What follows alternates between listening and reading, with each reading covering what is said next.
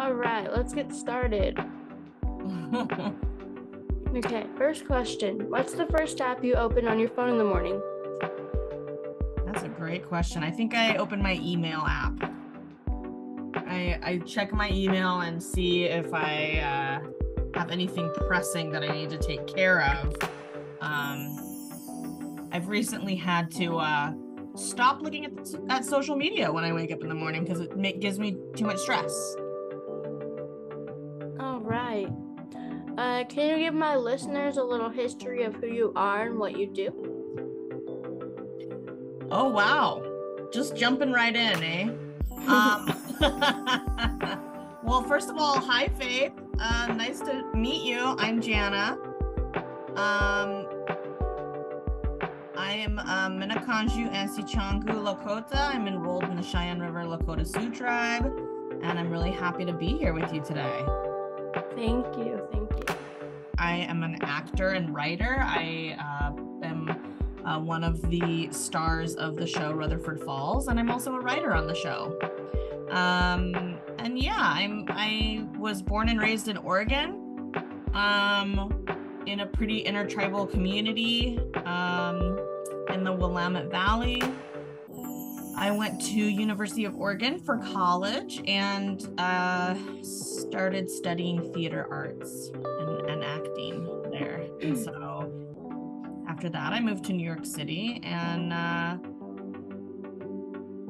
and and and after New York City, I moved here. I was a teacher in New York for a while, for about ten years, um, and now I'm a um, a TV writer. That's awesome. Um, how did your family and friends react to seeing you on TV? Um, very excited. Everyone has been really supportive of um, of my journey, and um, yeah, we're just having a good time. I think you know a lot of my friends. Oh, there's my cat. Down Wilma. Um, a lot of my friends and family have been watching me do comedy for a long time because I've been doing live comedy, um, you know, since I was in college and and plays and stuff. And so, um, yeah, these are people who have sort of watched me hustle for a long time, and um, I think it's fun to see somebody you know on TV. All right, that's great. If you had to eat one meal for the rest of your life, what would that meal be? Hmm. Ooh, very challenging questions here. Um, hard hitting. I'm gonna say, okay, I'm gonna choose a cuisine. I'm not gonna choose one meal. Because if I had to have something for the rest of my life, I would choose water. Um, but if I get to choose a cuisine, I'm gonna say I want Mexican food. Um, what is the weirdest or funniest question you have ever been asked in an interview? Hmm, weirdest or funniest? I don't get asked a lot of weird or funny questions in interviews. You know, it's totally different now. Um, it's totally different. People want to know like about the show. They're they don't really it's you know um a lot of like bigger um bigger like magazines and and like pa- newspaper outlets and stuff like that like they don't know a lot about native people so they i get asked a lot of questions about what's it like being a native person on on tv and you know you can tell that they just want to know what it's like to be a native person. What are some words of encouragement that you could leave for the youth or the future generations?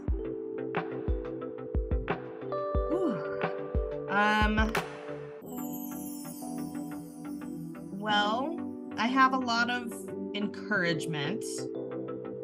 Um i think that the youth the future generations have a lot of stuff to navigate. Um i think um I think the the the next generations after me are I'm already a very stressed out person. There's a lot of stress in my life. There's a lot of responsibility, a lot of things that I carry, and I only imagine that it's going to get harder from here for a long time. So I encourage the young people of today to try to have a good time when you are young. try to enjoy uh things and you're like try to find the things you like to do um find the people you like to hang out with and like really just have a delightful uh, childhood that is free from responsibility that is free from stress because um you know it's hard out here All right. Cool. What advice would you have for your 13 year old self?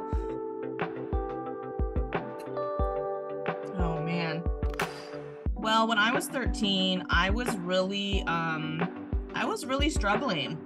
Um 13 was a hard year for me. Um I was struggling with a lot of um, depression as a young woman um and and so I I would tell myself to um go to therapy or maybe um i would tell myself that it's okay to be who you are right now yeah All right. Uh, what? How would you describe your 13 year old self in three words? okay anxious uh uh excited and um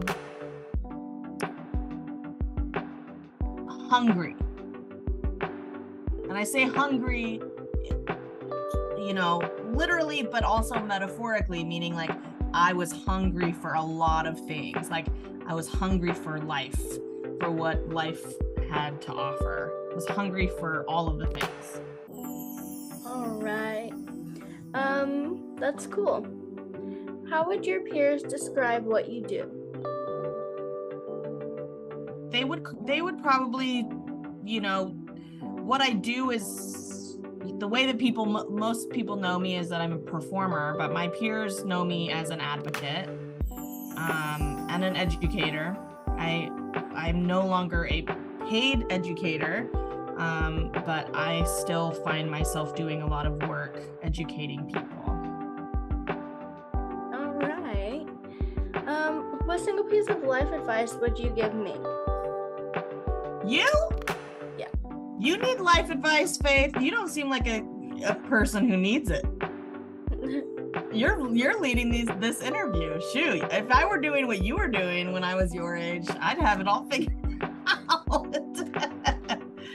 what do you tell me about you? I don't know anything about you, so I can't give you any advice. well, I w- uh, well, I would like to inspire the youth and show them that you don't need sports to get to your like your goal. Mm. So, um, I want to show them that you could be like you could just be you. Like you have to be a pro at being you, and you'll be fine. And that's what I want to show the youth. Is that because you are uh, surrounded by a lot of people who think that athletics is sort of going to be the thing that saves them and or the, that's their only the only career goal that you see around you is people are like I'm going to be a pro basketball player. Yeah. Yeah. What do you want to be when you grow up or what kind of what do you think about when you look into your future? I don't really know. I know I want to go to college. I don't know what one though, but I do want to go to college and um I kind of want to travel the world. I've been saying that for like a long time. Like I'm to like get a house, but like just in case anything like bad happens, then I'll have that house while I'm traveling the world. That's great. That's a great plan. Um okay, so based on what you've told me, I my advice to you is um well, first of all, keep doing what you're doing and asking people questions because that's the best way to like learn about the world. Um, is just by asking. I hosted a podcast a few years ago because I was just curious and I wanted to interview people. I wanted to talk to people, and I think it's a really good way to get to know people.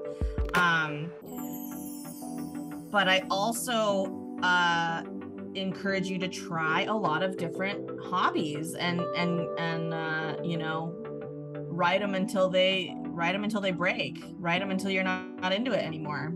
Um, you know i think as young native women a lot of times the the expectation is that we are going to work and provide for our community and you know uplift others um, and um, and I want to encourage you also to keep uplifting yourself because you are also very powerful and you know it's important to sort of find our place in the world. Thank you, thank you. Mm, tell me about the three most influential people in your life and how they impacted you. Three most influential. Well, my grandma, is very influential in my life. My grandfather, who has passed, um, was the one of the most influential people in my life. He was a biology teacher and a biologist and a and a gardener and uh, a native man. He was very loving and compassionate and um, and he sort of taught me how to live with um, an open heart. Um, Another very influential person in my life is Sierra Teller Ornelas, who is the showrunner and executive producer of Rutherford Falls. She's Navajo and Mexican American, and she is she is a powerhouse. She's really cool. And she's another native woman in comedy. And it was really hard for me to find another like um comedy person. And I really feel like she um, pulled me up. A third person, oh yeah. Um I'm really inspired by right now I'm really inspired by Rachel Lorenzo, who is a um, Pueblo um, uh, a Pueblo activist who um, started the organization Indigenous Women Rising, and she supports um, reproductive justice access uh, for indigenous people. She's really, really incredible. Okay, that's awesome.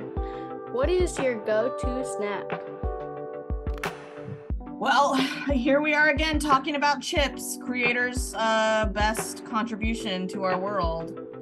Um, right now, I've been on a big Pringles kick. Also, Cheetos. I'm going back to like original Cheetos, a Laura Dannon moment where I'm like, I've been eating too many hot, like flaming hot snacks, and I'm starting to get a stomach ache when I eat them. So I gotta go back to the OG Cheeto, and once you pop, you can't stop. Pringles. It's where it's at, baby. Those are my two snacks right now, and an iced coffee. I love iced coffee. Coffee is really good.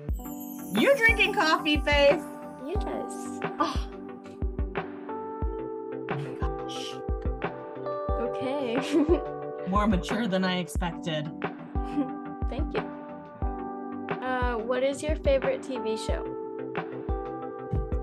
Oh, this is the hardest question you could ever ask. My favorite TV show is prob of all time is probably X Files. Have you ever watched X Files? Okay, well, I'm going to tell you right now, it's a little bit old. It's from the 90s, the 1990s, and it's like um two FBI detectives that um that go around and they are the only they have a department called the X-Files department and it's all like um aliens and conspiracies and like uh creatures and like the stuff that the FBI like the regular FBI like won't touch. And so these two agents like investigate these like um aliens and UFOs and stuff. It's really good. That sounds awesome. It's really good. Uh, if I pray for you, what should I pray for? If you pray for me, girl, pray that I can get some sleep. Please. I just want to sleep. It's so hard to sleep once you get to a certain age. I don't know what happened, but like all of a sudden I can't sleep anymore. It's like I, I can't just lay my head down and fall asleep. I, I have to like work at it. Guys, this is Jana Schmieding, and I'm here hanging out with Faith. Thank you. Yes.